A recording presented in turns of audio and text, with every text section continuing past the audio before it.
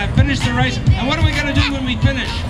We're going to put our hands up and we go, I'm a winner! I'm a winner! All right, kids, are you ready?